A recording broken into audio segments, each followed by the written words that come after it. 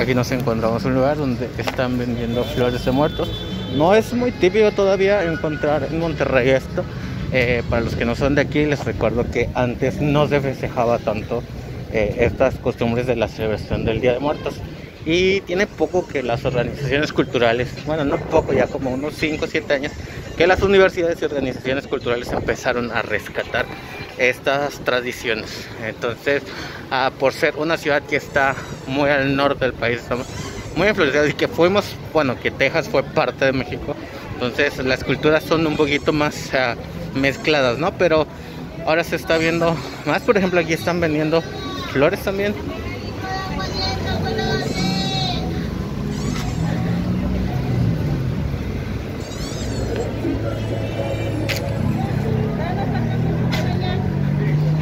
Nosotros caminamos hacia allá, ahí está el obelisco.